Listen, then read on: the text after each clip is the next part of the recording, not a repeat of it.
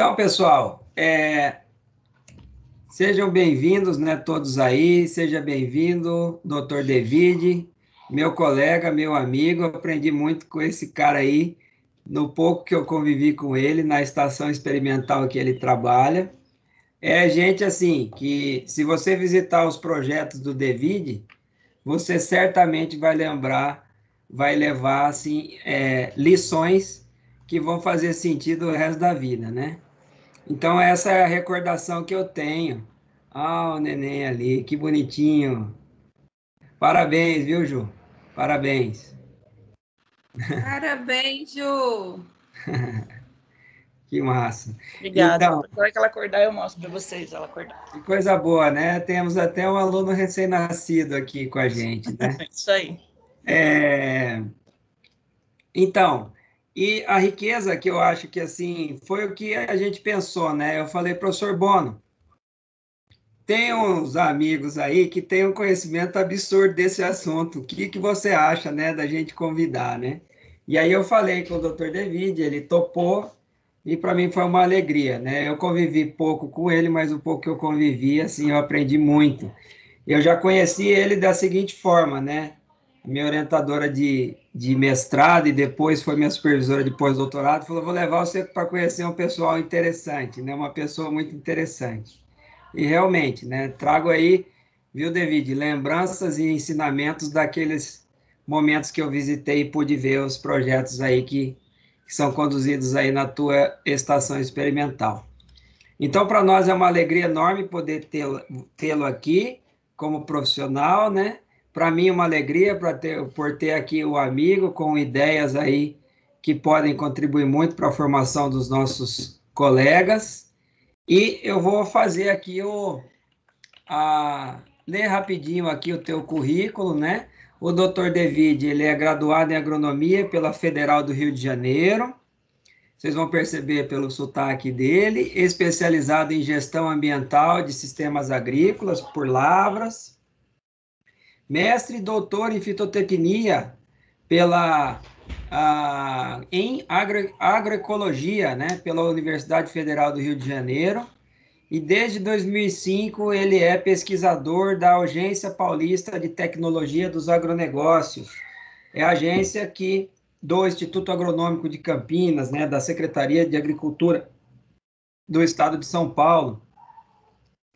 Ele atua na área de fitotecnia, com pesquisa focada em sistemas de produção agrícola, com ênfase em modelos de sistemas agroflorestais, vocês vão ver aí, os exemplos, né? Árvores nativas, conservação do solo, tuberosas e rizomatosas tropicais, né? Ele, quando eu estive aí, a gente teve a oportunidade de trabalhar no, no programa de melhoramento do Instituto Agronômico de Raízes e Tubérculos, aí na época mandioca, tinha mandioca lá, mandioca de mesa, restauração ecológica, monitoramento rápido e prático de indicadores de sustentabilidade, instrumentos, vejam bem que interessante, de diálogo e políticas públicas de incentivo aos sistemas agroflorestais, né? Pesquisa participativa, agricultura familiar, reforma agrária e histórias em geral. Fundador da rede agroflorestal do Vale do Paraíba. Então, pessoal, tá aí, com larga experiência no assunto, e que vocês possam aproveitar aí ao máximo as informações e eu tenho certeza novidades que ele vai trazer para a gente. David, muito obrigado, a palavra é sua e os alunos estão aí à sua disposição. Tá bom, boa tarde. Vocês escutam bem? Boa tarde, sim. Boa tarde. Boa tarde, professor. Sim. É, eu vou tentar passar em alguns assuntos assim que são introdutórios para a agrofloresta, viu, Eduardo? Porque para mim hoje é o mais importante que dá um sentido para a nossa passagem por aqui, né? E por que fazer agrofloresta se a gente não conseguir entender é, coisas que não foram faladas para a gente, mas que são conhecidas desde o século retrasado? Talvez até em regiões mais espiritualizadas, como Índia, China, talvez isso seja transmitido de pai para filho aí de uma ma maneira mais contínua, né? Mas aqui para nós, sociedade é, ocidental, a gente não tem essa.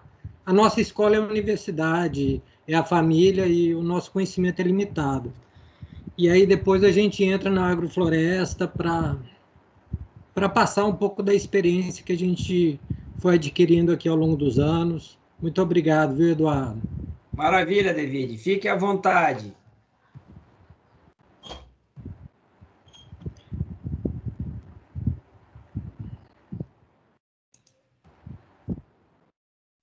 Primeiro, lembrar que agrotóxico matas. Aqui em São Paulo, a gente toma uma aspirina todo dia de agrotóxico em função dos produtos contaminados, né? Então, primeiro, antes de falar da agrofloresta, entender que nós estamos na primeira fronteira agrícola do Brasil. Foi aqui que passou a cana-de-açúcar para exportar açúcar, depois o café para exportar o café, depois veio o boi, maior bacia de leite do Brasil durante muitos anos, muitas décadas, e no final aqui a gente encontra o eucalipto nessa sucessão estranha, né? sem um planejamento. A gente está no principal corredor de serviços e produtos da América do Sul. É, liga os dois maiores centros urbanos do país, Rio e São Paulo. Então, se não tiver um cuidado com o solo, né, é claro que vai faltar água para esse povo.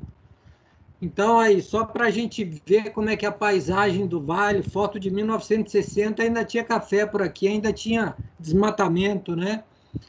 Esse, essa foi a realidade do sistema de produção de café no vale, com mão de obra escrava, uma coisa assim, sem sentido, né? Até hoje a gente tem que se tem que refletir muito nas escolhas que o Brasil fez e nos débitos que a gente amealhou aí na nossa fundação como país mas o café poderia ser diferente aqui, se a gente tivesse aprendido com os etíopes, que é o berço da origem do café, né? A África, ali naquela região lá debaixo dela. Então, a gente tem a oportunidade de aprender. Depois veio a pastagem, né? E todo um processo de erosão feroz numa região de mares de morros, como diz o geógrafo Aziz Abissaber, né? Muita erosão, muito entulhamento das vertentes, né? Assoreamento de nascentes. E, por fim, vem o eucalipto numa prática irracional, plantado morro abaixo. São Paulo é líder aí em termos de legislação no Brasil sobre conservação do solo, mas para o eucalipto não existe lei. Né? E há uma certa condescendência das, das lideranças políticas mas poderia ser diferente se o eucalipto entrasse né, na paisagem com um viés de conservação do solo, plantado em nível, né, trazendo componente pastagem para um sistema mais equilibrado, né, aumentando a recarga hídrica, a intercepção de água da chuva, reforçando o abastecimento de água no solo, né? Então, diluindo aquele efeito da monocultura então, isso só vai acontecer no dia que a gente mudar um pouco a nossa forma de ver a nossa passagem, sentido na vida. E na várzea do Paraíba, né, ao longo do eixo da rodovia Presidente Dutra, que liga São Paulo e Rio, é, são áreas planas, então são áreas de produção de arroz em que tem muito areeiro atuando, né? Então, cada bolsinha vermelha dessa que vocês veem é, são áreas de é, cavas de areia, né? Então, em 93, a imagem de cima e a imagem de baixo em 2003. Quantos buracos de areia, de extração de areia tinha, né? E essa é a cidade, a maior cidade do Vale do Paraíba, né? Que se chama São José dos Campos. E essas manchas escuras aí são solos de turfa, né? Que estão ao longo do, da calha do Rio Paraíba, né? E aí a gente tem a questão da proteção da mantiqueira, já que a gente está entre a Serra do Mar e a, e a Serra da Mantiqueira, então a, a, diversidade de animais que já foram extintos, segundo o Museu de História Natural de Taubaté, segundo o livro de, extinção da fauna da, da própria, do próprio governo do estado, e o que representa as baixadas úmidas do Vale do Paraíba em termos de conservação da fauna, porque toda a fauna que está no Alto da Mantiqueira, que é essa imagem desse parque nacional aí, Parque Nacional Altos da Mantiqueira, toda a fauna de lá, ave fauna praticamente, passa um tempo aqui na parte baixa do vale para nidificar, para se alimentar na época seca, né?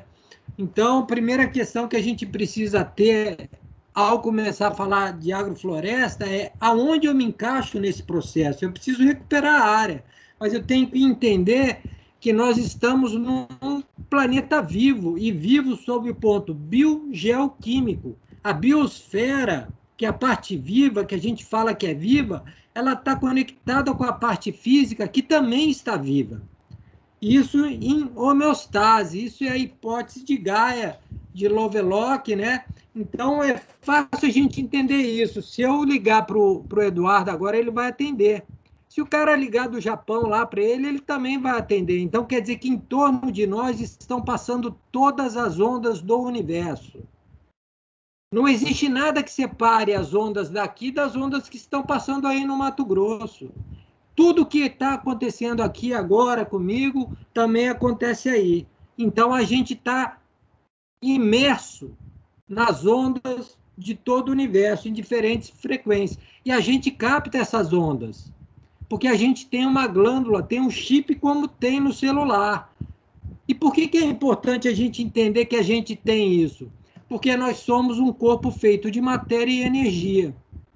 Então, na primeira imagem aí do dedão aí, é uma fotografia aqui dele antes de fazer uma mentalização, antes de fazer um, uma é, mentalização, né? Uma, um processo de reflexão profunda. Já a segunda imagem é como ficou o campo eletromagnético depois de fazer esse relaxamento, né?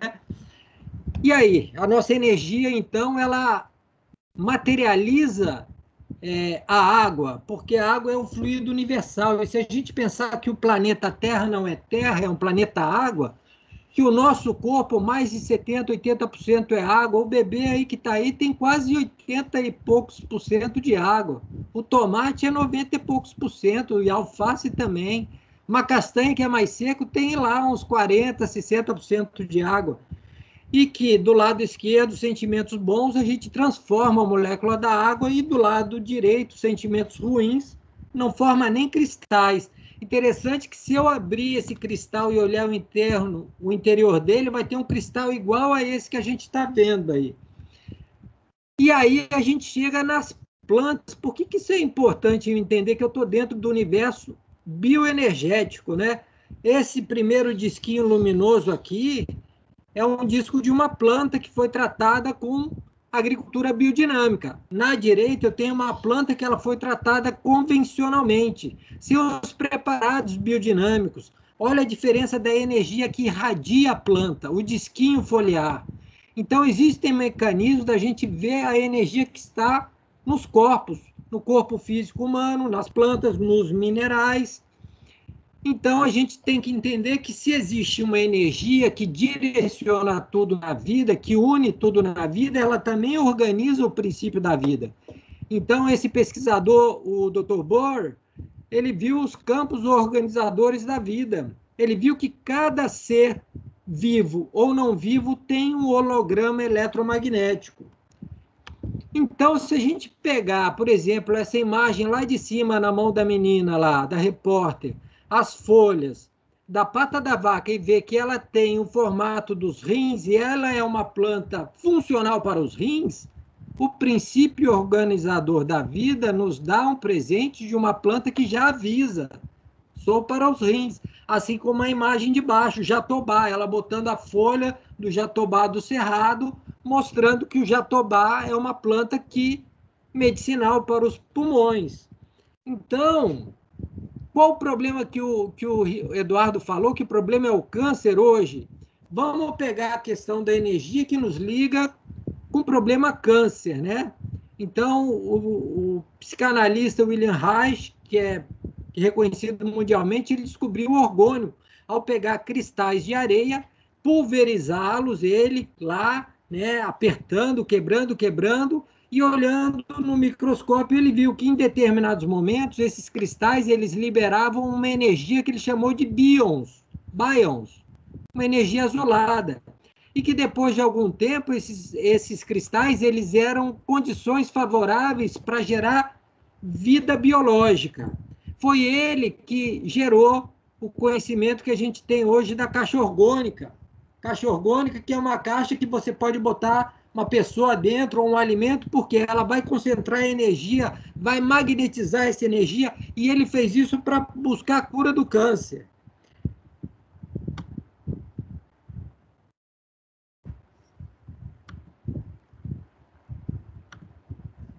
A outra questão que a gente precisa entrar, então, no solo, como esses dois pesquisadores, tanto o Smith quanto a Coyne, né, que são conhecidos no mundo com várias publicações, eles defendem que a argila é o princípio da vida na Terra, porque ela, ela, ela tem condições, através da troca de carga dela, transmutar o inorgânico em orgânico.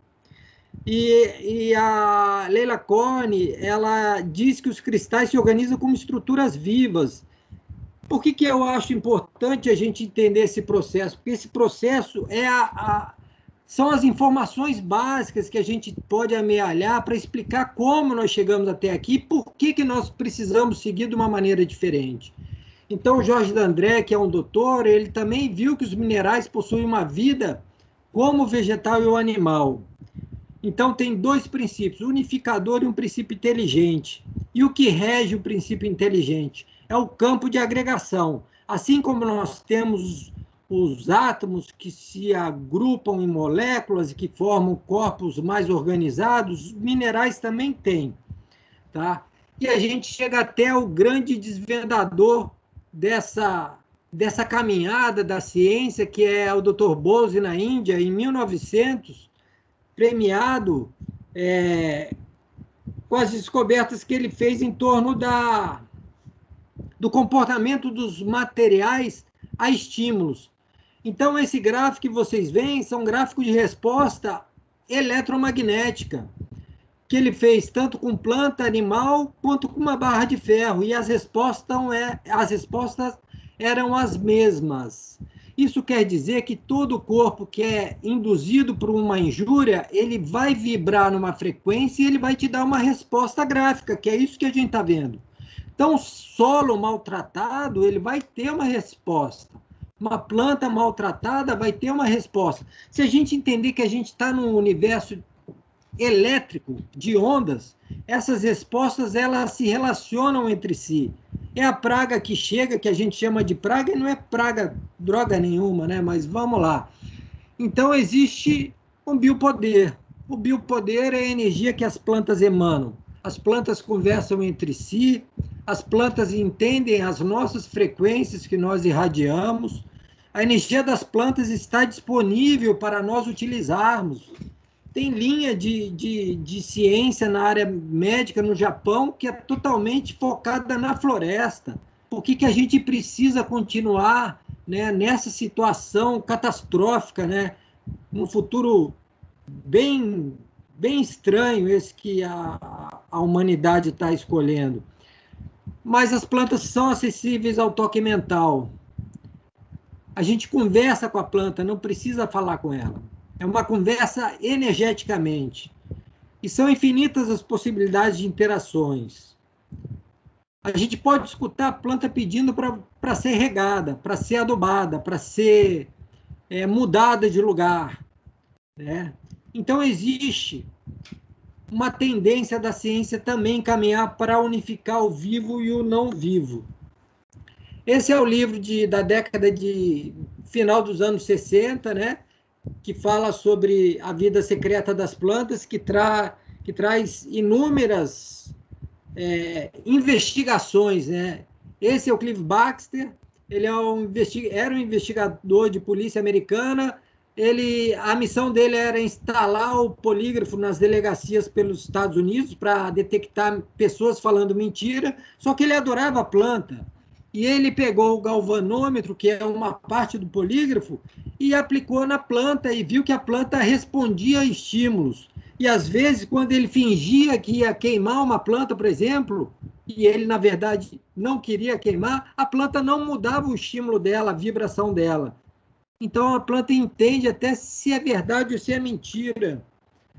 A gente passa também por Rudolf Steiner, que foi um educador, um pedagogo, né? mas que também foi o fundador da, da antroposofia e da agricultura biodinâmica, e a proposta dele era uma só: despertar o ser divino que está adormecido em cada um, em cada um de nós. Então a gente precisa alcançar um conhecimento suprassensível da realidade. Não é um conhecimento que vai estar na tela do computador ou no livro, vai estar no silêncio. Quando a gente conseguir silenciar a mente, a tal glândula pineal vai conseguir tocar o que existe de divino. Então, como é que pode, gente? Como é que pode? A valeriana, que é uma plantinha, ser usada no preparado 507 da agricultura biodinâmica e também servir para o tratamento de neuroses nos soldados que voltavam da Primeira Guerra Mundial. Como é que pode uma planta curar? Curar a neurose de guerra. É através da energia. O Dr. Bentov também, ele estudou os ovos, ovos, né? Um ovo um ovo não fecundado, ele viu que já havia um campo elétrico ao longo do eixo norte-sul do ovo, que é onde se formava a espinha do pintinho. E lá tinha um batimento, uma frequência vibratória no ovo, mas ele não estava fecundado nessa dimensão. Então, assim, abraçar árvores cura a depressão. Isso aí a psicanálise já recomenda. Dar descalço em cima da grama cura a depressão. Você quer salvar o planeta Terra? Quer salvar os nossos governantes? Vamos plantar árvores, vamos fazer agrofloresta, vamos mudar a vibração do planeta a partir do momento que a gente começar a mudar a energia que está no planeta. Então, agora a questão dos nossos antepassados. Né? A Amazônia é mais fácil a gente falar porque são diversos sítios arqueológicos. Cada estrelinha dessa que tem aí nesse mapa ao longo do Rio Madeira tem sítio arqueológico chamado Terra Preta de Índio. Para o pesquisador Charles Clement, da, da Embrapa Amazônia Ocidental, ele acha que a floresta amazônica é totalmente domesticada, foi plantada pela mão humana. Então, ao lado esquerdo aqui, a gente vê um, um solo de terra preta de índio, ao lado direito, um solo típico da latossolo típico da região amazônica, bem lavado. O solo da esquerda ele está em preto e branco, mas ele é preto mesmo. O que, que tem nesse solo terra preta de índio? Tem diversos compostos é, na forma de carvão, que foi queimado, o material foi queimado. Só que não é uma queima como a gente está vendo hoje, é uma queima lenta, é uma queima que não carboniza tudo, ela, ela requeima o material e ela não extingue a vegetação, a vegetação ela permanece lá. Então eu tenho sítio de terra preta de índio de 200 metros quadrados e tenho sítio de 200 quilômetros quadrados. Eu tenho sítio com 2 centímetros de espessura no solo, eu tenho sítio de 2 metros de profundidade. Tem uma sociedade internacional que pesquisa o biocarvão descoberto na terra preta de índio, que é o tal do biochar. Olha só, a gente está falando de coisas que estão acontecendo no mundo e que vão na contramão do que a gente vê hoje. Eu estou no Vale do Paraíba e cada município desse no mapa em roxo tem sítio arqueológico de terra preta de índio, que a fertilidade do solo é muito superior. Enquanto no latossolo eu tenho zero de fósforo, 0,2, na terra preta de índio eu posso ter 900 partes de, de fósforo eu tenho modulação na seleção de organismos funcionais, promotores de crescimento, bactérias que fixam nitrogênio nas plantas, é, que se associam com bactérias, é, bactérias funcionais que se associam com a rizosfera das plantas e fixam nitrogênio. Fungos, micorrizas que aumentam a superfície de solo é, que a planta usa para absorver os nutrientes. E olha só que interessante, esse projeto da Embrapa, ele é bem recente, foi lançado esse ano, e ele foi lançado por quê? Porque já não tinha mais resposta na parte física e química do solo. num estudo feito no Centro-Oeste, em áreas de plantio direto, os solos com alta fertilidade já, com um processo erosivo tamponado já há mais de uma década, não conseguia, através, des, é, através destas análises físicas e químicas, já não conseguia trazer por que, que uma área a produção se mantinha numa época seca, num ambiente de desequilíbrio de mudança climática, e numa outra área o solo não era é, compensador da vida. As culturas declinavam, a soja baixava a produção em 50%, 60%, 70%. Mas a área física e química era igual, os componentes físicos e químicos. Então, os pesquisadores foram estudar a parte biológica e viram duas enzimas, beta-glicosidase e arilsulfatase, que eram as explicações para as áreas que tinham estabilidade diante das mudanças do clima, para aquelas que não tinham. E o que, que levava essas duas enzimas? A tal rotação de solo, a biodiversidade de organismos vivos no solo. Então, a gente entra agora na agrofloresta para entender que a gente não está falando de uma coisa fora da, da necessidade humana, da necessidade do planeta. A gente está falando de uma coisa que é a solução. Eu estou falando aqui, estou falando um monólogo, né? Mas é importante que a gente tenha esse poder de reflexão. Então, cada manchinha preta dessa no globo é um lugar de alta densidade, diversidade de experiências de sistemas agroflorestais. Então, cada desenho desse esquema que está no rodapé aqui é um modelo diferente de desenho de sistema agroflorestal que a gente pode aplicar. Cada um tem um componente, um tanto de espécies, esse aqui, por exemplo, eu posso ter um, um guanandi, uma árvore, uma teca, uma seringueira. Aqui embaixo eu posso ter uma diversidade de cultivos. E a gente tem princípios funcionais. Esse livro é maravilhoso porque ele traz bastante experiências para a agrofloresta. Então, o princípio da agrofloresta é ciclagem de nutrientes. E aqui embaixo eu tenho ó, as micorrizas, a fixação de nitrogênio, né? a microvida do solo. Acima do solo, eu tenho a serrapilheira, que é todo o material que está em decomposição. Folha, galho, resto de culturas. Eu tenho a importância da, do sistema para água, primeiro para captar as gotas de chuva e reforçar a recarga, para a água infiltrar no solo e abastecer os lençóis freáticos, perenizar as nascentes do Pantanal, e também proporcionar a evapotranspiração, que vão formar nuvens e novas chuvas, os rios voadores. E eu tenho componentes funcionais na agrofloresta, do café, da banana, das culturas de sombra, a taioba, o açafrão. E eu tenho o princípio da agrofloresta, que é o princípio da sucessão. Eu posso sair de uma pastagem, implantar um sistema agroflorestal biodiverso, que eu vou chegar numa floresta, ou eu posso ficar num sistema transicional aqui, ó, intermediário, só com hortaliça.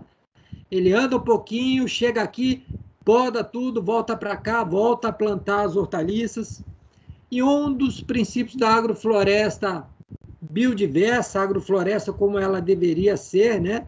É que ela tenha várias camadas, né? Cada camada é um extrato, então eu posso ter a planta emergente que vai dominar o do céu lá em cima, desde a rasteira aqui embaixo, né? Cada uma tem um tempo de vida. A emergente ela pode romper o dossel do extrato alto aos 30, 40 anos, quando as espécies aqui do extrato alto já estão na meia-vida delas. E o manejo da agrofloresta, que consiste na poda. Então, se a Lua, olha só, se a energia da Lua interfere no nosso campo gravitacional, ela também interfere na água na planta. Então, a lua nova é quando a seiva da planta está voltando para as raízes. A partir da lua minguante, quando isso começa a acontecer, essa translocação de fotoassimilado junto com a seiva começa a descer, é o momento que a gente faz a poda no sistema agroflorestal. E a poda pode ser para formar, pode ser para estratificar, vai depender da finalidade. Então, aqui a gente tem a banana, o café e uma árvore. A árvore vai rebrotar, mas o material está aqui embaixo. A banana foi colhida, o pseudo-caule foi picotado aqui, está no pé do café. O café sofreu aqui uma recepa em cima para rebaixar ele. Então, material da poda da banana vai para o café, material do café vem para a banana. Você nunca aduba a mesma cultura com resíduo dela. Né? A gente não comeria o cadáver humano. Tá certo que a gente come o cadáver de uma vaquinha, mas não precisa, né? Madeira sempre colado no solo, né? A gente precisa ter essa, esse cuidado. A madeira precisa ficar em contato com o solo para ela poder se decompor. Eu posso ter diversidade de sistemas em ilhas, então eu posso ter a bananeira no meio criando um pé de jatobá em volta à mandioca e as culturas anuais em volta dessa ilha. Eu posso ter várias ilhas que se conectam. Eu posso ter sistemas agroflorestais de manejo intensivo e aqui eu tenho cinco linhas. As duas externas eu tenho plantas arbóreas aqui, eu tenho eucalipto e sementes de árvores e frutas e as, e as linhas do meio tenho uma diversidade de plantas anuais, principalmente, culturas de ciclo curto, bastante folhosas, arranjadas de maneira que no tempo no, eu aproveito o espaço físico e eu aproveito o tempo para fazer a colheita desses materiais. Aqui a vista do perfil no sentido leste-oeste. Em cima as linhas de café com eucalipto e as entrelinhas com as culturas vista de perfil, em cima com dois a três anos, embaixo de já com sete a dez anos.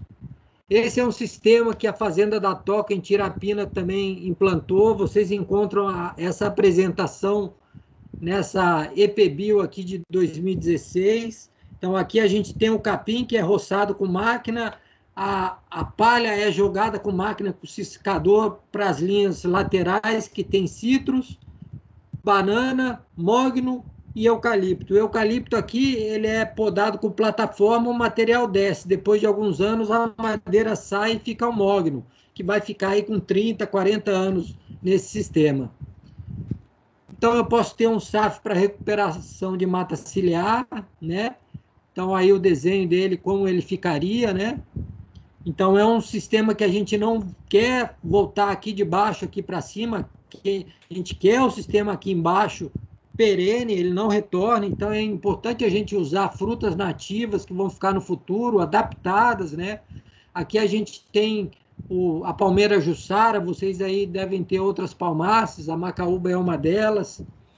E para áreas degradadas, que é o que a gente mais precisa aprender, é esse é o SAF ideal, que é plantar faixas, né, linhas aqui de diversidade com faixas com gramíneas que a gente possa manejar elas para dar a cobertura do solo necessária para as linhas laterais e tudo mais. Então, em cima o perfil da área, como é que ela fica, no meio o estágio mais avançado, e embaixo o estágio mais avançado ainda. Então, a gente entra agora nas experiências do Polo Regional aqui, que é um campo de pesquisa, antiga fazenda do Instituto Agronômico de Campinas, atual Polo Regional da APTA, e a premissa que a gente tem é trabalhar com as porteiras abertas. Né? A população entra para ajudar a montar o experimento, para manejar os experimentos, para coletar dados. E esse movimento gerou a formação de uma rede chamada Rede Agroflorestal do Vale do Paraíba. É, tem um, um filmezinho aqui embaixo e tem também informações na internet. E a mensagem do grupo é essa: faz o que puderes com o que tem e onde estiver. Então, o princípio é a agroecologia. Então, o movimento agroecológico no Vale do Paraíba ele foca na regeneração ambiental e na soberania popular, tá? Tem as bases da agricultura orgânica, eu colocaria mais algumas questões aí que diz respeito a a energia ela tem que ser eficiente energeticamente, você tem que pegar toda a sua energia para cuidar de uma área pequena e ter uma produção de energia muito superior do que você gastaria para ter uma área maior. Isso é a ecoeficiência. E o gasto que você tem para limpar uma rúcula, você não limpa ela porque o sombreamento da alface, do brócolis, da mandioca que está crescendo junto, tudo isso junto na, dispensa a limpeza, a capina do mato, né? E a questão da política, a gente tem que ser revolucionário nos nossos princípios. Ou a gente quer uma terra habitável ou a gente quer concentração de riquezas, que é o modelo que a gente está enfrentando pela frente. Então, o projeto que eu, que eu trabalho com ele se chama Vitrine Agroecológica, e ao invés do, do desenvolvimento, a gente quer propor o envolvimento científico, tecnológico e pedagógico na formação de agricultores, pesquisadores. Os agricultores e agricultoras são os pesquisadores dos sistemas agroflorestais. Então, são diversas atividades feitas em mutirão, reuniões técnicas, troca de semente, formação de banco de sementes, visitas de intercâmbio, e essa é a área do nosso polo regional. Então, aí eu tenho um SAF Macaúba e aqui uma diversidade de cultivos de aleia. Aqui é a nascente, aqui é as áreas de mata ciliar, aí formado com agrofloresta em diferentes sistemas. Então, aqui, nessa faixa aqui, eu tenho um sistema de cultivo de plantas alimentícias não convencionais, um horto botânico com aleia de gliricídia. Aqui na mata ciliar, diversidade com banana. E aqui nesse meio, cultivo em faixas de plantio direto de hortaliças diversas, com aleias de frutas nativas e tudo mais. Então, nas terras baixas do Vale do Paraíba, aqui beirando as vagens de arroz, a gente tinha uma parcela que foi o primeiro experimento aí com palmeira sem espinho da, do Instituto Agronômico aqui no Vale do Paraíba. Então, esse, essa área experimental ela foi, ela está num gradiente de solo para várzea, então a gente fez um estudo nesse gradiente, a gente cortou toda a pupunha e manejou ela em sistema agroflorestal e depois de um tempo, né, então a gente já vê a diferença na parte alta que é mais bem drenada para a parte de baixo que tem saturação hídrica, né? E depois de dois anos aí o manejo, a quantidade de massa e a pupunha já revegetando a área, recolonizando já com outra cara, né? Uma outra área anexa também, a plantio de um bananal com margaridão, principalmente para fornecer nutrientes. Ele é bom porque ele se decompõe rapidamente, cicla muito nutriente, mais do que as leguminosas em termos de fósforo, potássio, cálcio, magnésio. Sempre fazendo o manejo, coletando dados com as pessoas que estão no mutirão. E aí no estágio mais avançado, né, onde aqui é a fruta nativa que vai vigorar. Como isso está na, beirando a várzea, a gente quer formar um corredor de fauna, então a bananeira também aí está com os dias contados. Numa outra área, beirando uma, uma área ciliar, né, uma área ciliar, a gente fez um mutirão para implantar o sistema agroflorestal. Então é importante a gente entender que a gente precisa de uma diversidade de espécies para implantar uma agrofloresta e sempre que a gente puder utilizar sementes arbóreas é importante. Então, aqui é o sistema, aqui é a área ciliar, né? Então, aqui é um sistema onde eu tenho linhas de banana, diversidade de espécies vindo aqui. Então, eu tenho desde mandioca até coquetel de árvores, semente de árvores é, e adubação verde. Então, aqui eu tenho quiabo, mandioca, banana e adubação verde que é manejada no tempo. E as árvores vão sendo formadas é, a partir dessas culturas aí. Então, aqui um detalhe aqui, a adubação verde é podada, entra aqui a crotalária já foi podada, o andu está vindo, vai ser podado, e aqui entre a mandioca e outra, o coquetel de árvores aqui vindo aqui. Uma outra área que foi plantada só de sementes, né? O manejo de poda na mata ciliar, ele não é permitido, mas a gente está num campo de pesquisa, então a gente faz para otimizar o crescimento de espécies que estão vindo por baixo, para acelerar, como o jatobá, como a própria jussara, que gosta de uma meia sombra. Então, aqui é o sangra d'água que foi podado. Então é interessante a gente manejar o pseudocaule da bananeira como telha e botar essa parte branca aqui para virada para baixo numa planta de ciclo longo, como a palmeira jussara, né? Então aqui a área de mata ciliar depois de alguns anos, como é que ela ficou, Jatobá vindo aqui, Jatobá não, Guapuruvu vindo aqui em cima. Metade dessa área foi plantada com semente, metade Aliás, aqui as espécies arbóreas plantadas de muda e nesse perfil aqui as espécies arbóreas plantadas de semente. E aqui um sistema mais tarde que a gente colocou mudas e sementes. O capim Guatemala também é muito interessante para a gente fazer a poda, o manejo, porque ele não tem aquele, ele não corta, né? Ele não tem. E a diversidade de punks que a gente pode utilizar para trabalhar no subbosque da agrofloresta. Então, tem várias plantas rizomatosas que são passíveis de uso. O açafrão é uma delas, uma planta medicinal valiosíssima que pode ser colhida e produzida extensivamente no subbosque, né?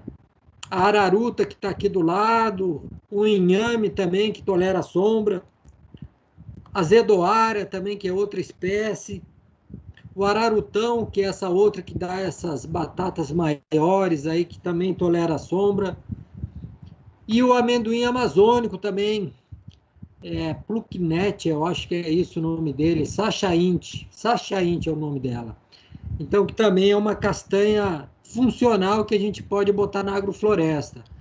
E a gente pode fazer o enriquecimento nos safos que vão recuperar a mata ciliar a partir de sementes. Então, aqui eu tenho ingau, vaia, né? coquetel aqui de sementes de, de Jussara. Então, tem toda uma diversidade que pode vir no final. E é importante realizar os dias de campo né, para trocar informações, experiências. Muitos agricultores têm muitas informações para para trocar. Aqui é a Cristina Castro, pesquisadora que trabalha com plantas alimentícias não convencionais, essas rizomatosas todas conversando com o Léo também, que está na Mantiqueira, trabalha, o Vinícius Pontello está na Mantiqueira também. Aí um detalhe do trabalho dela aí, só com punks. Na, a linha lateral, né? Aqui a lateral, que é gliricídia, banana e fruta nativa, pelo lado de fora aí, hora para o nobis também. O pseudocaule da bananeira, quando é manejado, pode ser aberto ao meio e forrar os canteiros. Ele tem uma seiva rica em potássio, a glicídia sendo manejada também fornece uma rica fonte de nitrogênio, ela pode ser plantada de estaca também. Aqui um outro sistema, no meio dessas estacas, ele foi feito na grama batatais, a grama batatais fixa nitrogênio. Joana Doberaine, pesquisadora da Embrapa da década de 60, fez essas pesquisas. E aqui a gente fez a implantação do sistema sem arar a terra, colhendo quiabo no estágio mais avançado, é glericídia com banana. Então, aqui o foco é macaúba e araribá e fruta nativa nesse sistema. Então, aí, a cada 10 metros eu tenho uma macaúba, entre elas eu tenho araribá, e entre essas espécies eu tenho frutas nativas nessa linha do meio. Aqui do lado é banana e glericídia e outras espécies mais. Bom, o polígono de pesquisa fora do polo, né, fora da nossa área, é esse aqui, que pega lá Cachoeira Paulista Cruzeiro até São José dos Campos, ao longo da calha do Paraíba do Sul. Então, esse foi um curso de longa duração e o material que saiu do curso de longa duração no Thales, esse nosso amigo que está aqui apresentando o sistema dele, que saiu lá do Egídio Bruneto com os nossos amigos. Então, o ensino dos sistemas agroflorestais na, no Vale do Paraíba ele é feito principalmente por agricultores.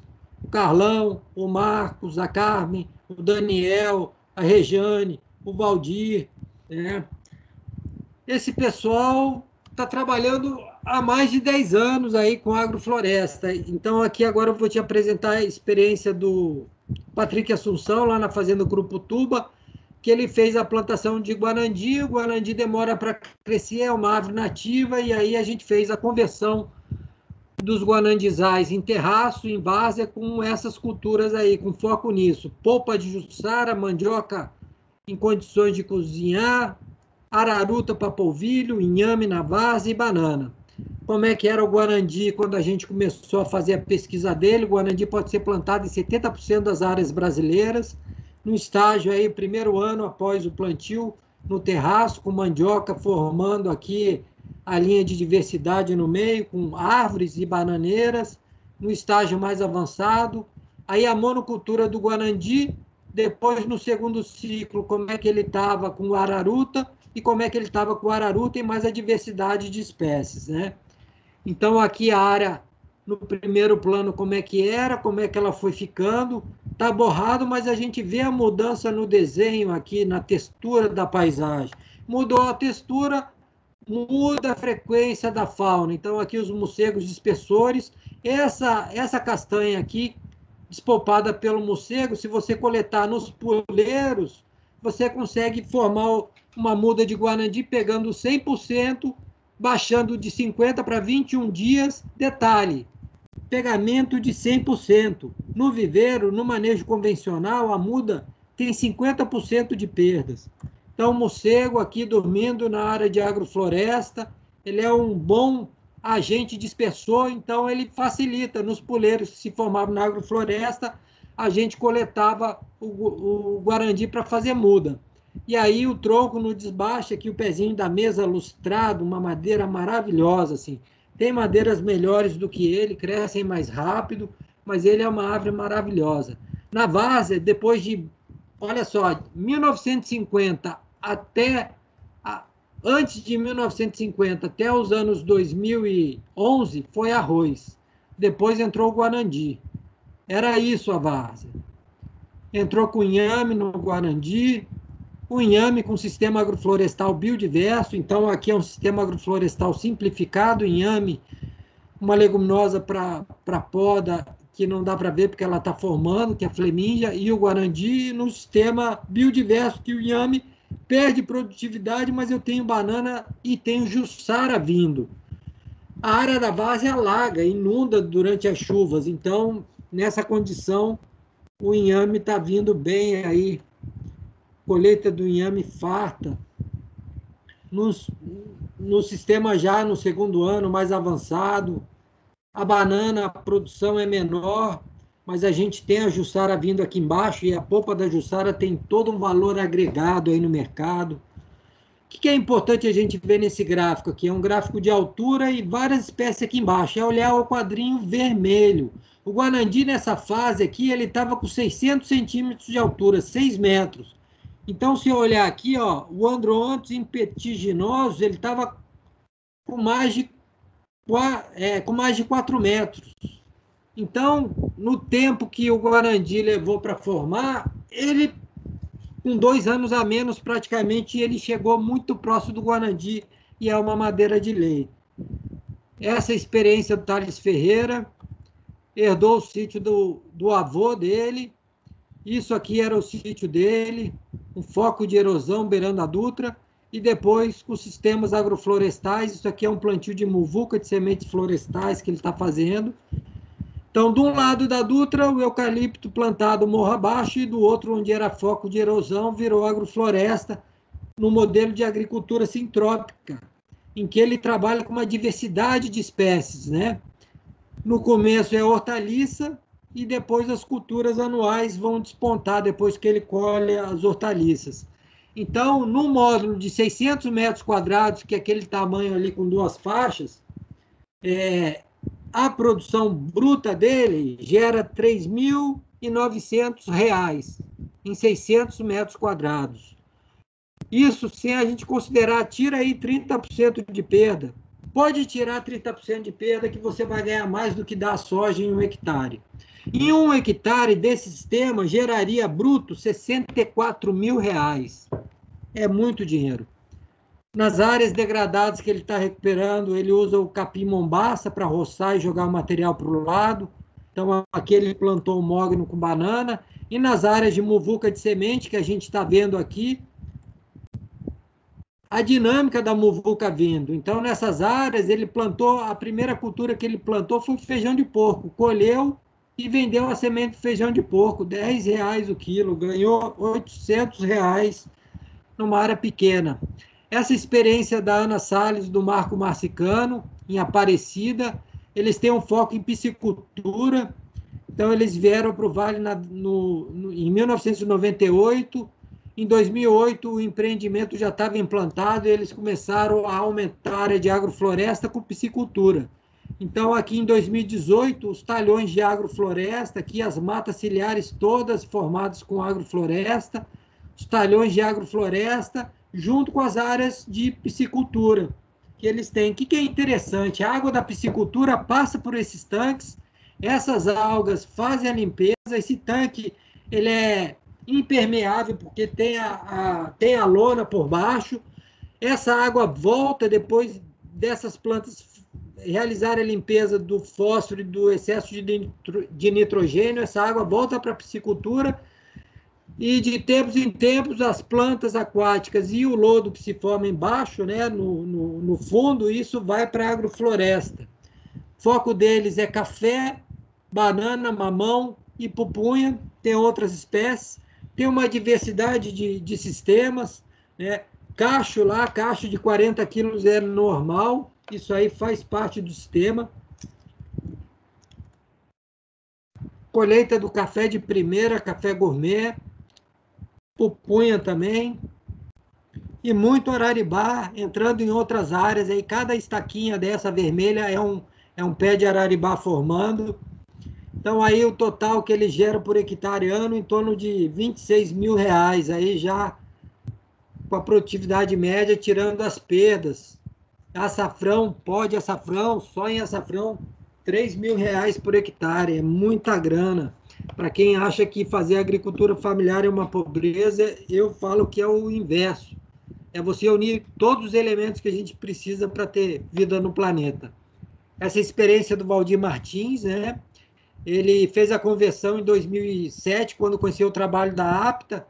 Foi lá que entrou, entraram os primeiros materiais de raiz amarela do IAC, de raiz mais amarelas, que foram colhidos em Eugênio de Mello, em solo de tufa. E aí eles conheceram o trabalho com mandioca. Ele, ele para vocês terem uma ideia, quando no auge da colheita, que iria começar a colheita, ele não, não conseguia colher uma caixa de brócolis, porque apodrecia tudo pelo uso excessivo de enxada rotativa. O assentamento é feito num solo degradado, um solo que passou por todos os ciclos maléficos que teve econômico no Vale do Paraíba foram décadas, mais de 100 anos de pastagem, pastagem sendo queimada todo ano. Aí aqui do lado você vê um pomarzinho sendo formado. Esse é o projeto do INCRA. Faz o Pronaf, dá o pacote tecnológico para o agricultor, ele não recompõe a mata ciliar, planta o pomar e não colhe uma caixa de pocã depois de 5, 6 anos. E o Valdir entendeu o processo da agrofloresta e fez a conversão de toda a propriedade dele, inclusive dos pomares que ele usou dinheiro do Banco do Brasil, do nosso imposto, para fazer algo irracional, que está pagando, já pagou, mas ele usou esse recurso da agrofloresta para pagar os empréstimos que ele fez do Pronaf antigo. E fez a conversão. O que é importante? O mutirão agroflorestal trouxe os técnicos do INCRA e do ITESP para vivenciar essa experiência. Hoje, INCRA não fala mais de modelo de agronegócio para o assentamento no Vale do Paraíba. Já é uma coisa consolidada. Aqui é agrofloresta. O Valdir aqui, junto com o amigo dele aqui, eles formaram uma escola de agrofloresta. Então, as pessoas da cidade, os novos rurais, gente do campo, agricultor sem terra, passa lá dois, três dias para aprender a plantar, para usar os farelos, usar o resíduo da poda para fazer o plantio direto aqui no resíduo da poda da área urbana, que é um passivo da, da área urbana, fica. Olha que linda essa terra, cara. Isso aqui é terra preta de índio sendo preparada. É isso que a gente precisa entender. Aqui do lado, ó, salsinha, cebolinha, alface, brócolis aqui, o espinafre aqui do lado, de espaço em espaço aqui eu tenho uma linha de mandioca para virar isso aqui, ó. Isso é o segredo da agricultura tropical. Por isso que a gente tem que ser revolucionário. Ah, nessa experiência aqui do, do Bruno Almeida, eu vou pular, vou pular, vou pular, vou pular. Vou passar aqui de volta para o polo regional. Áreas de agrofloresta sem nada de, de adubação, pH acima de 5, 5,5, níveis de fósforo de 26, 55, potássio de 2, 3, né? Saturação de base chegando a 74%, 60%, 65%. Soma de base acima de 57, 50%. Isso quer dizer que tem nutriente no solo para uma cultura exigente. Avaliação rápida e prática de indicadores. Então, essas informações eu não vou detalhar, já passou do tempo. Eu vou deixar essa apresentação. Eu posso mecanizar com microtrator essas áreas de agrofloresta. Eu posso usar metodologia difícil da gente pensar, mas que existe, apoia Novo Rural, Ambitec Agro da Embrapa, que foi utilizada nos projetos que a gente tem também. Ah, vou passar. Eu queria finalizar com essa mensagem do Dr. Bose aí. Aqueles que na mutação incessante do universo veem apenas uma coisa, e só a eles, só a eles pertence a verdade eterna. Então, que a gente possa, assim, o Dr. Bose, ele podia ter entrado nas universidade, na universidade inglesa, porque a Índia foi colônia da Inglaterra, mas o pai dele, que vem de uma, de uma da casta dominante da Índia, mas teve oportunidade de ter um ensinamento milenar, que a gente relegou aqui nos trópicos, a gente está dizimando os índios sem conhecer a verdadeira riqueza que existe nessa população. O doutor Bose, em vez dele entrar na, na universidade inglesa, na Índia, o pai dele botou ele para estudar com os Vedas. Então, até os 18 anos, ele foi fundamentado pelos Vedas. Depois, ele foi o primeiro indiano a lecionar numa universidade inglesa. As pesquisas dele estão disponíveis na internet, em fascículos online. Tem livros com mais de 400, 800 experimentos feitos em um ano para comprovar o que a gente refuta hoje, a gente nega, nega que a gente está na, no, no campo cósmico do Criador e que a gente, tudo que a gente pensa, que a gente faz, reage no outro reage na planta, reage no solo, reage de uma maneira cósmica em todo o universo. Não é possível a gente olhar a vida como algo do tipo morreu, acabou. Já tem muita bibliografia mostrando que existe comunicação em todas as esferas da vida. Então a gente precisa sair do mundo de mito, da mitologia e entrar no mundo verdadeiro da ciência. E a agronomia é uma ciência assim maravilhosa, porque ela une tudo, só que ela uniu tudo e conseguiu analisar as partes sem unir esse todo. Então que vocês aproveitem essa passagem assim nesse planeta, nessa vida para unir o todo, pegar tudo que vocês vão receber de bom dentro da universidade, dentro das experiências de campo, e dá sentido. Porque se analisar as partes, sinceramente, vai ser uma vida passada em branco. Então eu deixo um abraço para vocês e espero que a gente possa conversar. Eu acho que saia daqui. Vocês conseguiram ouvir alguma coisa? Totalmente. Assistimos aí. Então tá bom. David, muito obrigado. Eu acho que para muitos aí, foi um primeiro contato com o que, que é uma agrofloresta.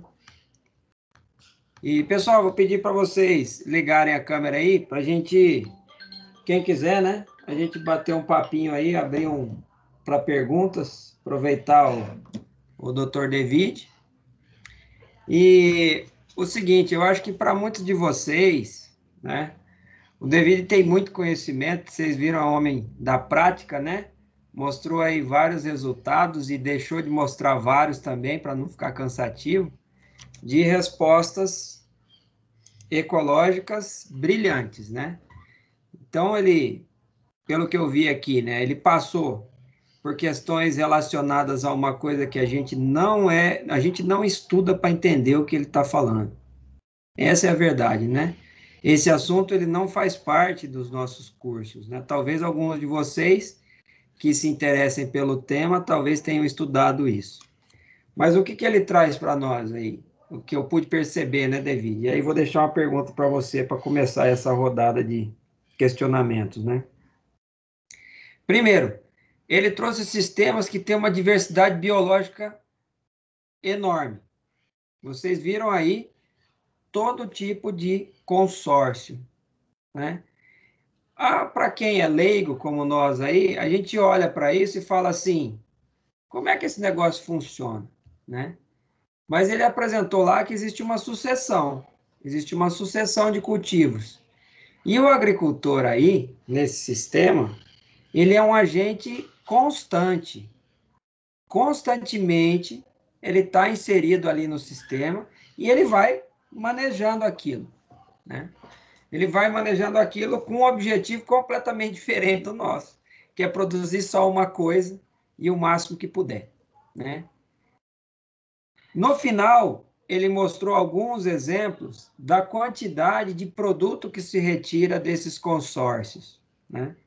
E vocês viram os números aí. A diversidade de plantas e a quantidade que se retira, o valor econômico que se pode retirar dessas, de, desses cultivos agroflorestais, que é para nós uma novidade, né? É muito raro esse tipo de resultado com análise econômica, né?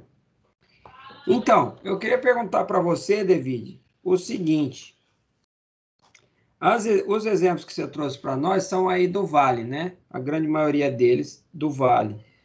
É aquela região, gente, para quem não conhece onde fica, é o eixo Rio-São Paulo, né?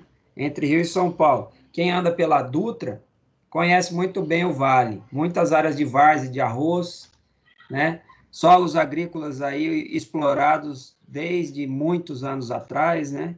Eu, eu diria que são solos agrícolas mais batidos que a gente tem aí no, no, no, no Brasil, né? É, David, a gente está vendo a sua tela, né? Se você quiser compartilhar, beleza.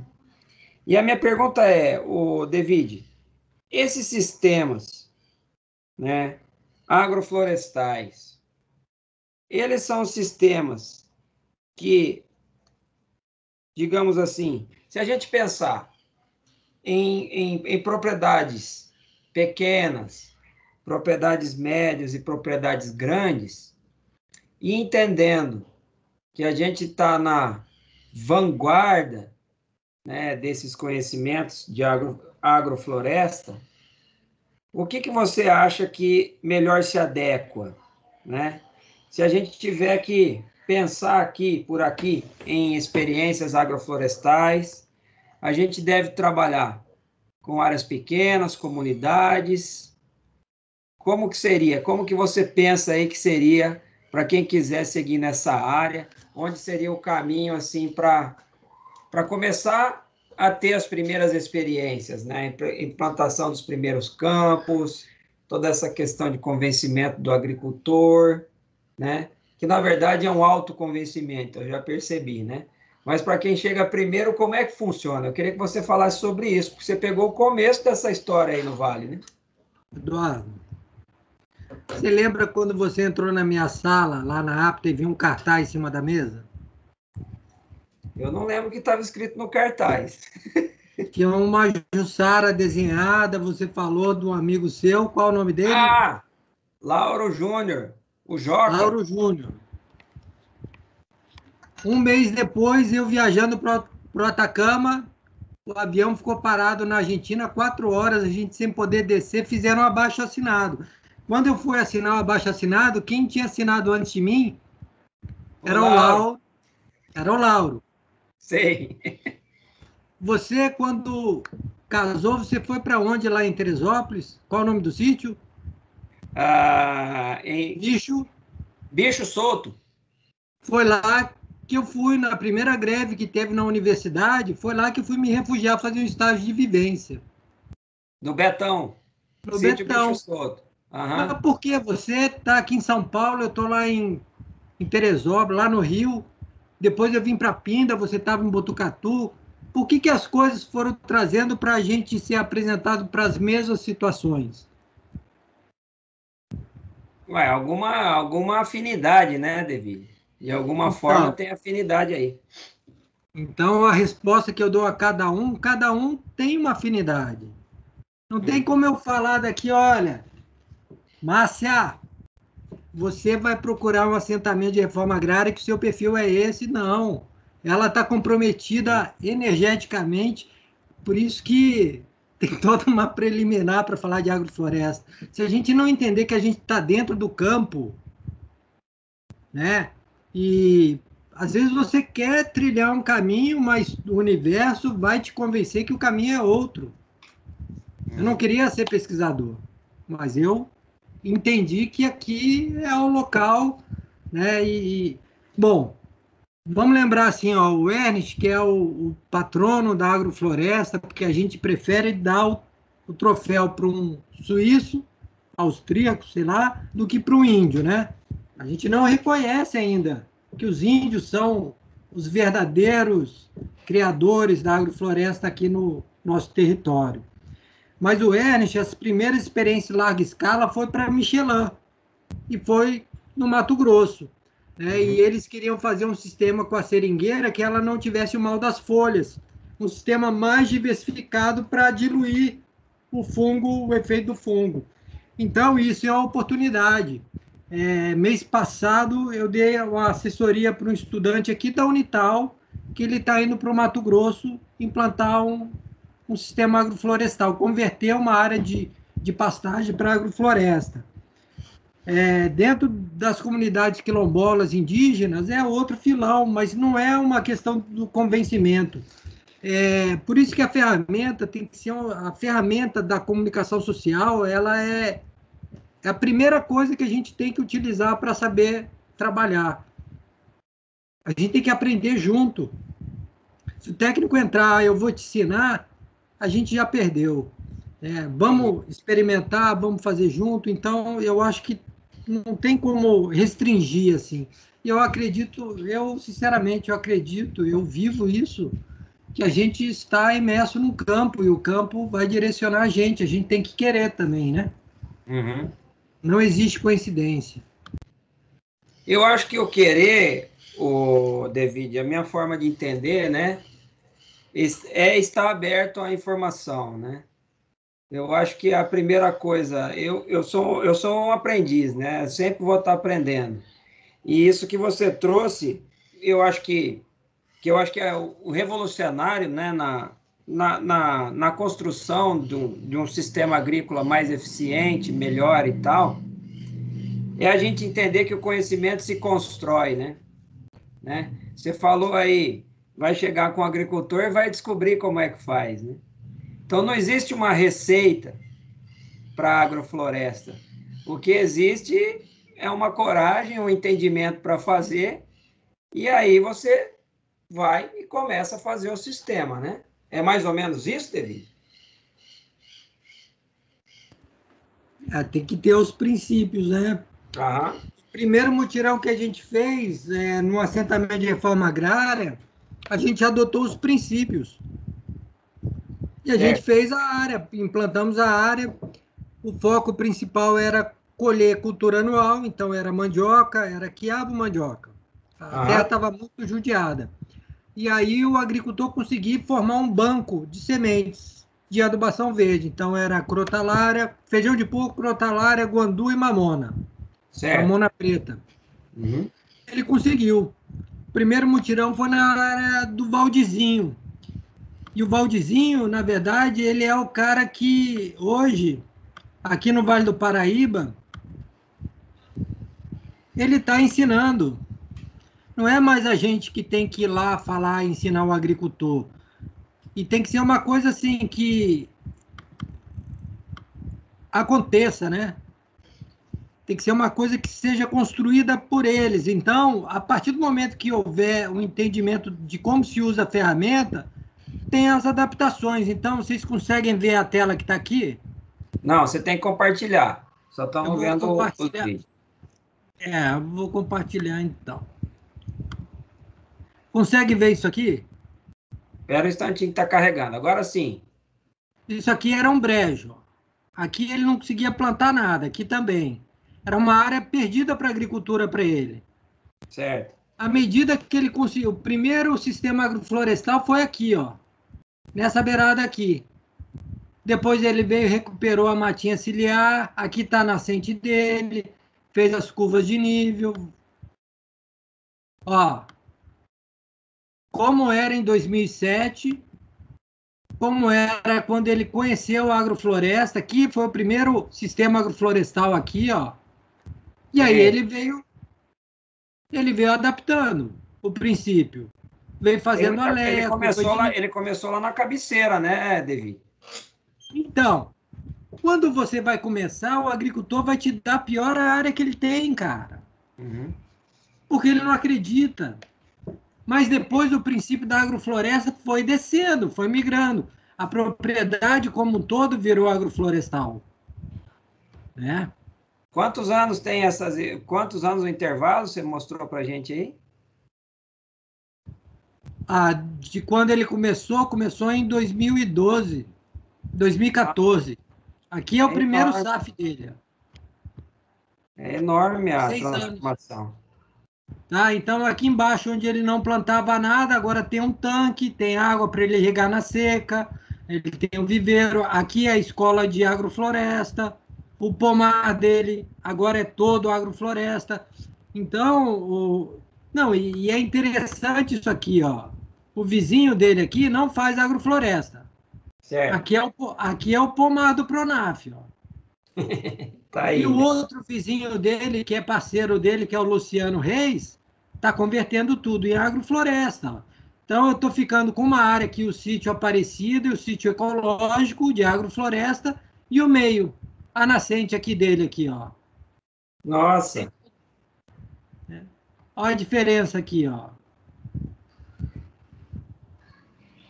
Então, Entendi. Isso, então, isso... em termos de política pública, é um baita instrumento também, né, rapaz, de retorno social desses recursos de financiamento, de financiamento, né?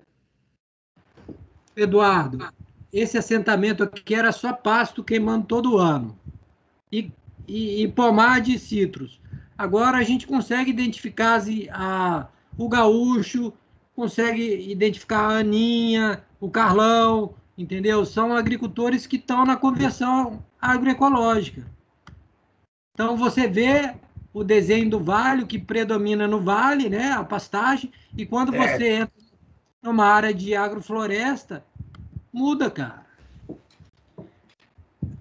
Aqui está de que a gente está formando um projeto ecológico de longa duração, né? Sim. Da Mata Atlântica do Vale do Paraíba. Então, é uma das dos nossos objetivos aí com esse com esse trabalho. Quando eu tive aí para a primeira, bom, pessoal, vou deixar aberto para vocês. Alguém tem alguma pergunta para fazer? Eu queria saber o, como tá, como, como, como é lidado, ou se tem é, parcerias, incentivos para essas agroflorestas no Cerrado, né? A gente vê que tem muitas, muitas plantas específicas do Cerrado, principalmente a gente lembra do piqui, caju e tudo mais, e a gente também tem grandes áreas né? E aí, como é essa parceria? Você tem parceria com o governo, com alguns órgãos em si, para estar tá disseminando essa prática no Cerrado, já que a gente vê um, um, um crescimento, uma potência aí em larga escala de cultura, principalmente commodity, né? Então, queria saber como está a disseminação das agroflorestas no Cerrado mesmo. Márcia, a agrofloresta está em todos os biomas brasileiros, tá? É, aí no Cerrado, em torno do Distrito Federal, esse mais movimento de agroflorestores de inclusão sintrópica, que é o que o Valdizinho está montando a escola lá em parceria com mais, a sede deles é em Brasília, se eu não me engano. Não em Brasília, né? Não é quem dera se fosse nosso governo fosse feito por agroflorestores, né? Mas então tem, se você pesquisar na internet, você vai encontrar. Eu posso te garantir, esse projeto ele é gerado sem recursos. Para não falar que não tem recurso, tem a estação de pesquisa e a vontade dos agricultores, que organizam os mutirões, vão à luta, produzem suas próprias sementes. Então, é, e foi uma opção que a gente fez. A gente chegou a submeter projetos para. Acabamos de submeter agora, esse mês, para o CNPq, no, como PELD, né, Projeto Ecológico de Longa Duração, para ver se a gente capta algum recurso. Mas desde 2009 não tem recurso. Então, como é que você constrói? É dando o primeiro passo. É tendo a certeza que se você está fazendo alguma coisa para aumentar a quantidade, a qual, qualidade de vida do planeta, existe uma força maior atrás de você te empurrando. Porque volto naquela questão, nós estamos dentro do campo eletromagnético. A gente é uma potência. A gente é uma potência. E o que nos faz caminhar nessa, nesse campo? São as nossas relações. Como é que você se relaciona com ele? Eu sei que falando assim parece que é uma coisa assim, pô, esse cara não tem base científica, tem. Você pega a apresentação, vai ver esses trabalhos, esses autores, como é que eles fundamentam a energia num cristal de quartzo. Se a gente entender que a areia tem energia, libera bíons.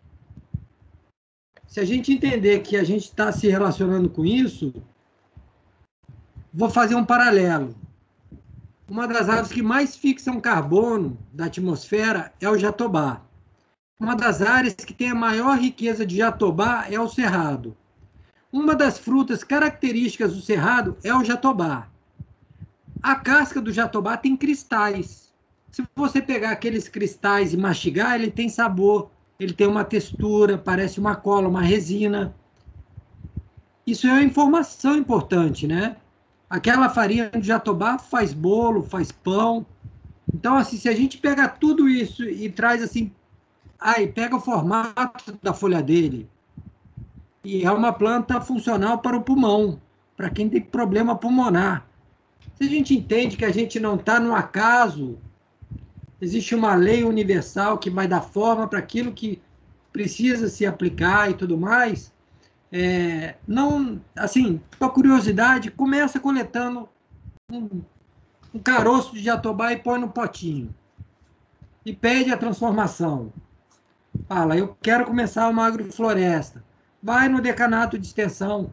Eduardo, arruma um, uma área de 20 por 20, Dentro da apresentação tem, a gente foi lá no Instituto de Botânica de São Paulo, no uhum. centro de São Paulo, lá fazer agrofloresta.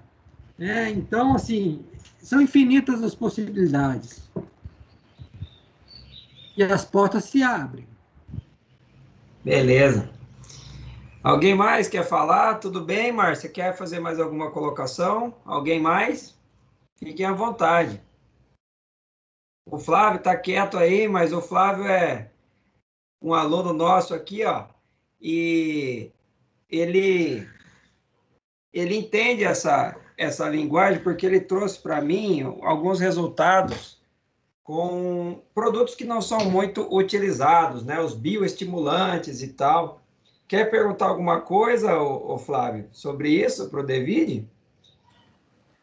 É, na verdade, eu tinha, eu tenho uma outra, uma outra dúvida. Essa parte que o professor comentou sobre esses campos eletromagnéticos que existem ao nosso redor, é, eu já tinha visto isso, é, já tinha estudado um pouco sobre isso, e eu queria saber assim, se, por exemplo, hoje em dia a gente consome é, muitos alimentos que tem moléculas ali que não são boas para o nosso organismo. E a gente está se intoxicando com esses alimentos. É, isso tem alguma relação, vamos dizer assim, com a energia que o nosso corpo produz e transmite é, para o meio ambiente, vamos dizer assim? Totalmente.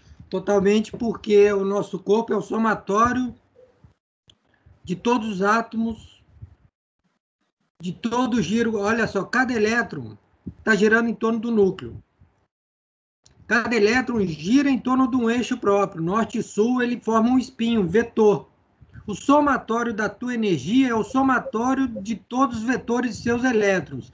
Então, se você estiver feliz agora e daqui a dois minutos triste, porque alguém arranhou seu carro, você vai somar o seu campo, seus vetores e vai anular os vetores que estão para cima enquanto você está feliz e os que estão para baixo enquanto você está triste. Se somar 10 menos 10, vai dar zero. Então, a, a, a, o somatório do seu campo eletromagnético passa a ser zero.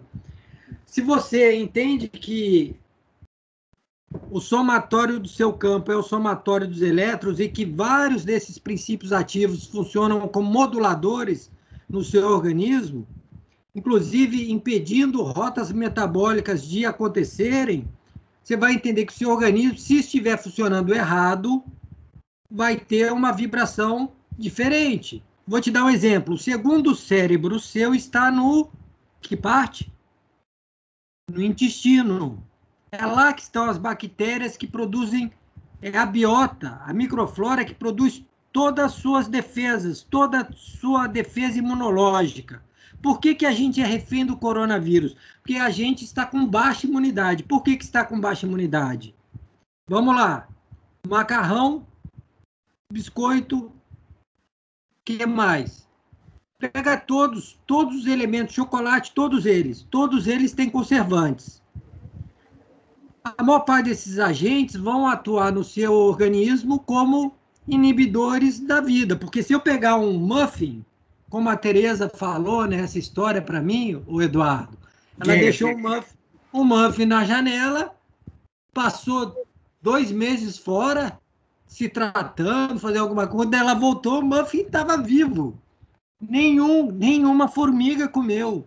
Aquele bolinho industrial estava fora da caixinha, nenhuma formiga comeu. Cara, isso é um indicativo se ele tem condições de eliminar toda forma de vida que está se comunicando pelo ar, ele também vai eliminar a forma de vida que está no seu intestino. Então vai reduzir a sua defesa vai reduzir a sua defesa, você vai se tornar mais vulnerável. Se o teu campo é o somatório das energias que todo, todos os seus elétrons geram de vetor, como é que estão tá as energias dos organismos que estão dentro de você, sendo eliminados? Dentro daquela pesquisa do Baxter, lá da, do livro A Vida Secreta das Plantas, uma, da pesqui uma pesquisa que ele fez foi o seguinte, a planta está conectada com galvanômetro, que tem uma agulhinha que oscila, e ele pega uma chaleira e vai jogar água quente, depois que ele passou o café na pia. Por que, que a, a planta ficou maluca, oscilando a vibração antes dele jogar água quente no ralo? Por quê? Porque a planta entende que dentro do ralo estão as bactérias que vão degradar a matéria orgânica. As bactérias são vivas e que a água fervente iria eliminar as bactérias.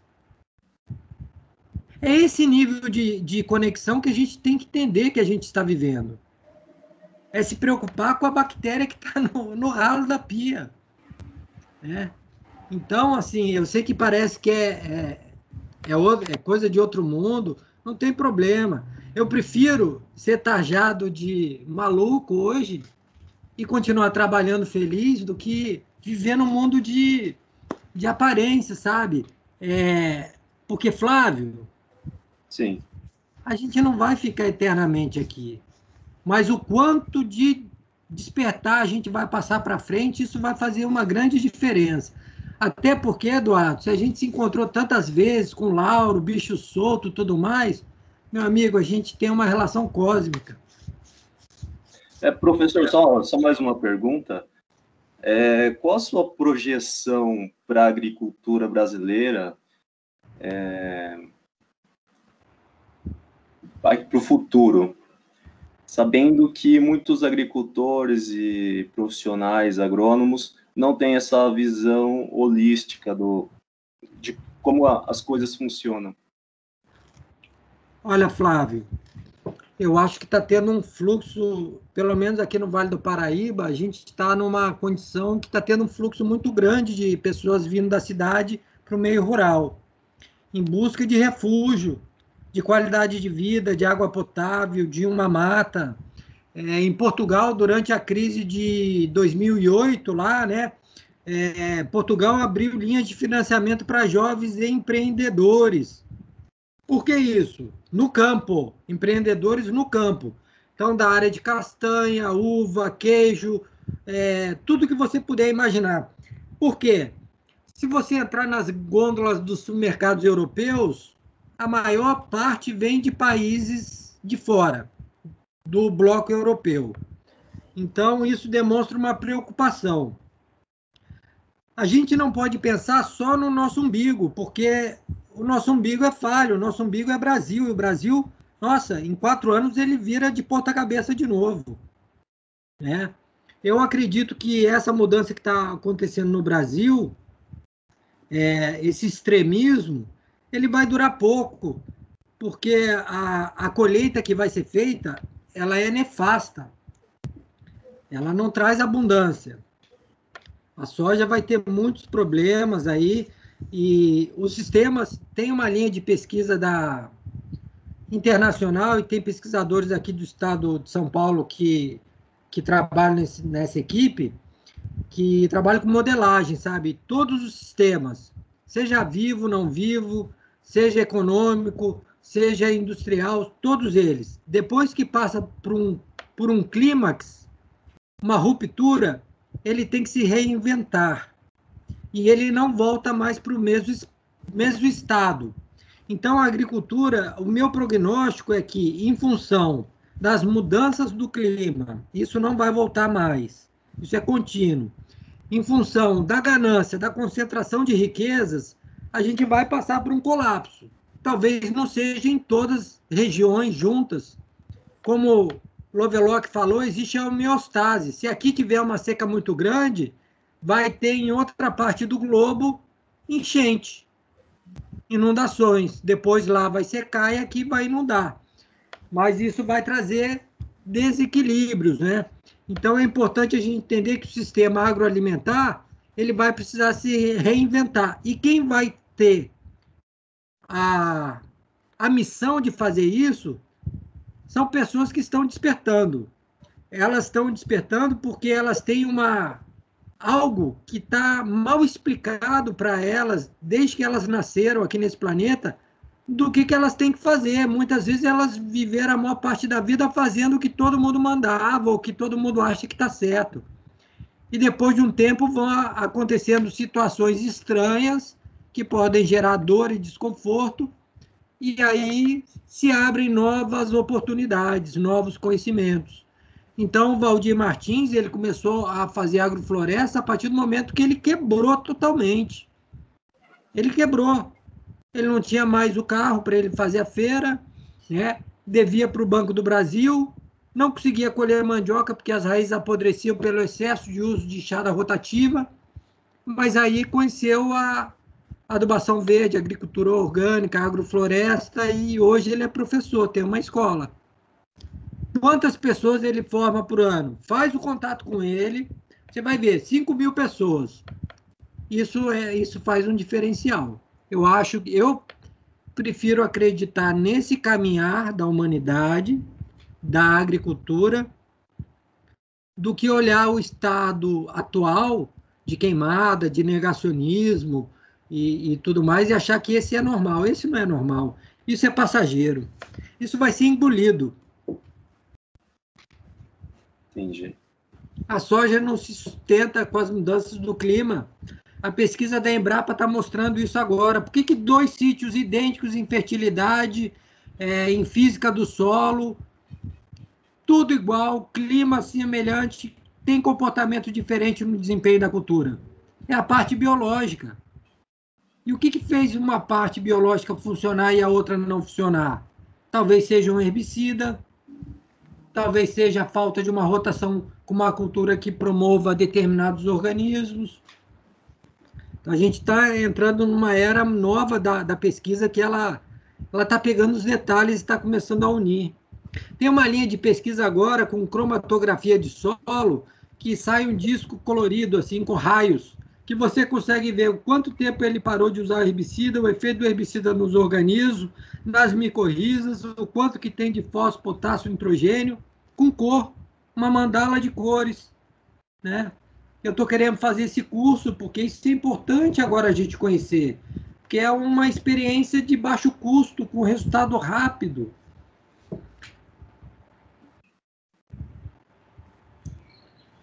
Maravilha. Alguém mais quer fazer alguma pergunta, pessoal? Aproveitem, é o momento.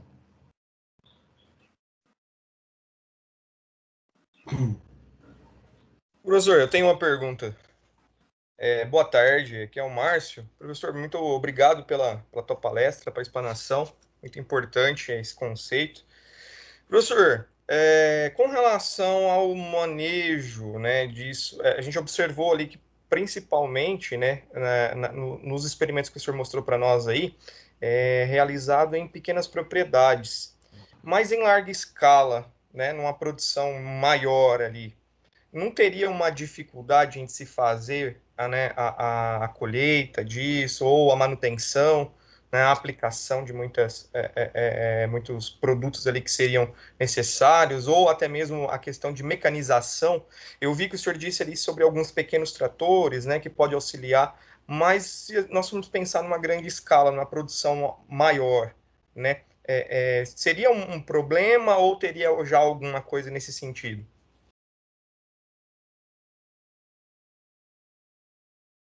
Ótima pergunta. Eu acho que a gente tem que sempre buscar mais informações para a gente conseguir é, desmistificar um pouco essas questões, porque muitas vezes a gente perde a oportunidade de defender uma linha e tudo mais por insegurança, né? Então eu vou mostrar para você aqui, ó. Esse aqui é o trabalho do, da Fazenda da Toca, tá? É aqui em São Paulo, em Tirapina.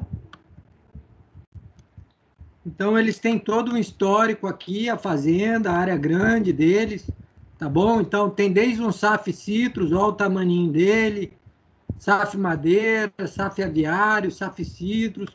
Então, é importante a gente entender o processo que eles usam. Deixa eu ver se eu consigo.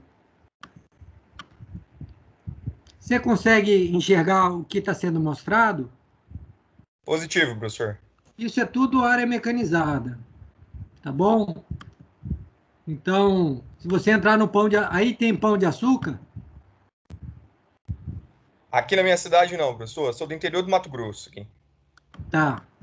Então, esses temas aqui são todos eles mecanizados. Tá? Então, você pode usar o mesmo princípio para o Mato Grosso que vai dar certo. Agora, é um trabalho de adaptação. Então, vou te dar um exemplo aqui, ó. Roçar crotalária para fazer o plantio direto, como o professor Eduardo mostrou. Tem máquina para roçar. Enleirar para fazer o plantio, ó. O ciscador aqui, ó. Tá vendo o ciscador aqui, ó? Tá fazendo leira aqui, amontoando material para fazer o plantio. Ah, eu preciso de um roto canteirador. Tem máquina para fazer a formação do canteiro. Está aqui, ó, a leira aqui para fazer o plantio, o ciscador, né? os arranjos produtivos, né? o que, que você vai gerar em cada época, né? taxa de retorno. Então, é, esse trabalho da Fazenda Toca é um trabalho de referência para a gente sempre que possível a gente visitar é, na internet para a gente poder pensar em larga escala, porque eu acho que isso é necessário. É muito necessário. A partir do momento que o agricultor, produtor, médio, grande produtor rural fizer isso, eu acho que a gente vai ter uma virada. É, eu fiz o doutorado dentro de uma fazenda de 290 hectares aqui no Vale do Paraíba, em Pindamonhangaba a fazenda ela foi pioneira no Vale do Paraíba na introdução do eucalipto. É, chegou ao ponto de ser a maior produtora, maior empresa de fabricação de papel craft em, na década de 50 de casca e palha de arroz. Depois é que veio o eucalipto em 1960. Foi a maior da América do Sul.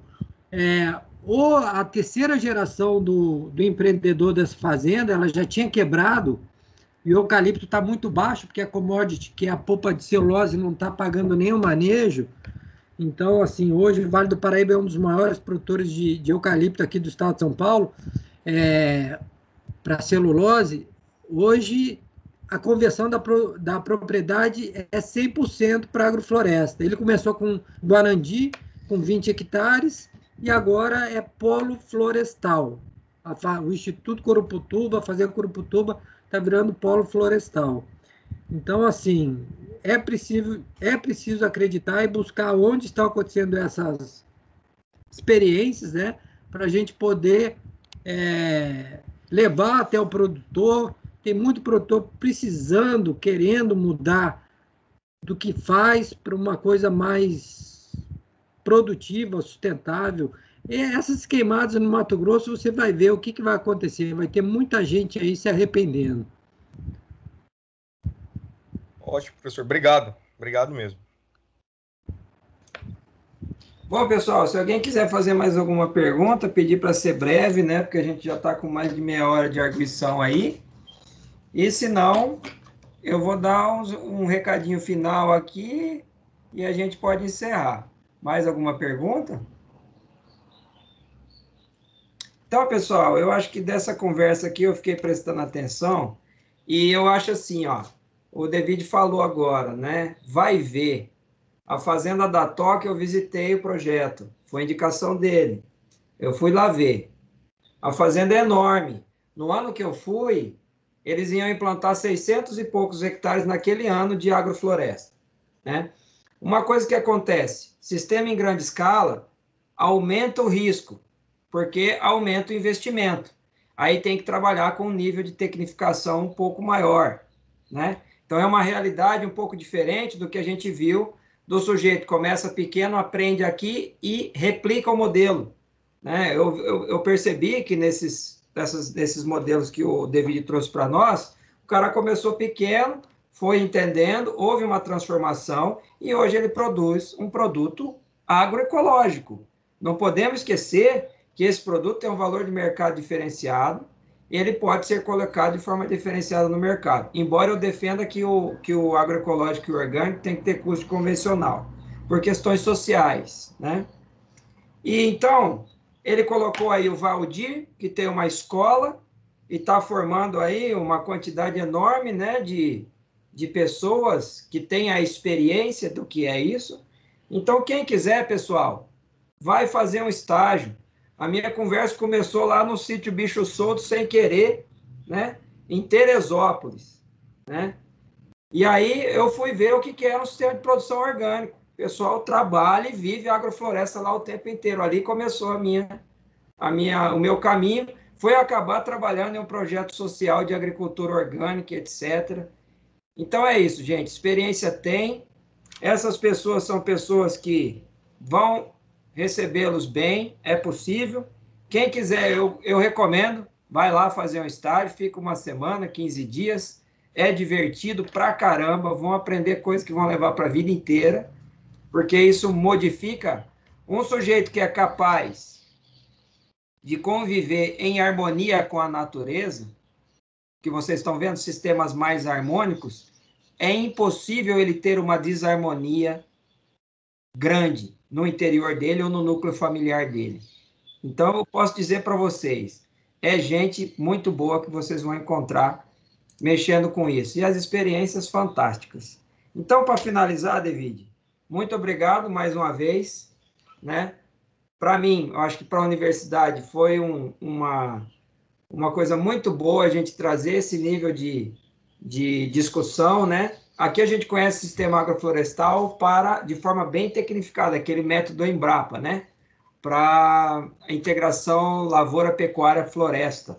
É, é o agro-silvo-pastoril, né? Ou simplesmente silvo-pastoril. Mas essa visão mais holística, mais aberta, mais integrativa aí da, do, das agroflorestas a gente não tinha. Então, foi muito obrigado. Eu acho que a contribuição que você vai deixar para nós aqui para o curso, porque está gravado, né? É enorme.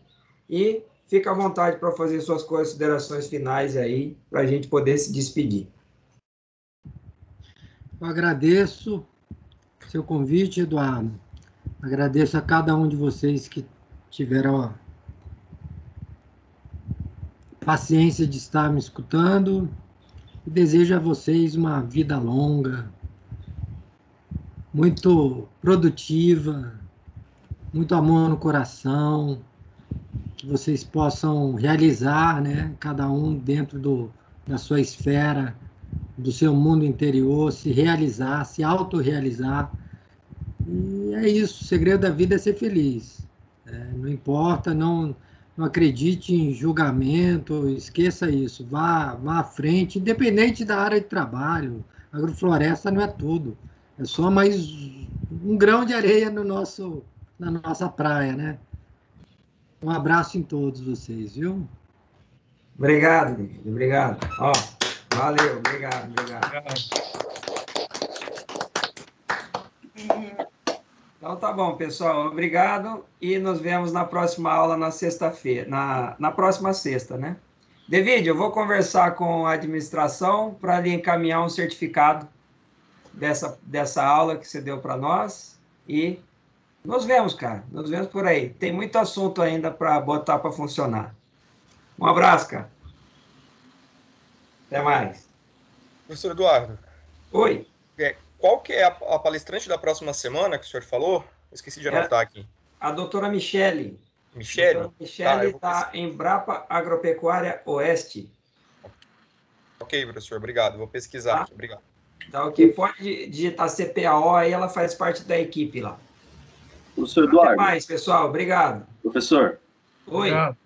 É, a, a gente vai fazer reunião hoje ou Rapaz, eu tô com a minha mãe e minha irmã aqui em casa, eu vou ali ver como é que tá, porque elas estão segurando meu filho, e eu já volto a falar com você. Beleza? Aqui mesmo?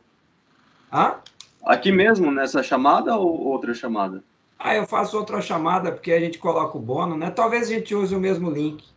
Beleza? Tá, beleza. Aí você me avisa no WhatsApp, então. Aviso, aviso sim. Me dá tá uns bom. 10, 15 minutos aí que eu já te dou um toque. Beleza, professor. Obrigado. Você viu que ele falou justamente do programa do programa da Embrapa de monitoramento biológico. Não é o mesmo se você percebeu, é o mesmo projeto. É o mesmo ah, projeto. Ah, bacana. Isso eu já eu estava eu tava vendo no curso de microbiologia eles comentando a respeito também do, do desse programa. Maravilha. Muito então bom. me dá um tempinho aí que eu já retorno com você. Tá Até bom, mais. Professor, Tchau, pessoal. Muito obrigado. Tchau, professor. Obrigada. Tchau, professor. Tchau. Tchau. Tchau.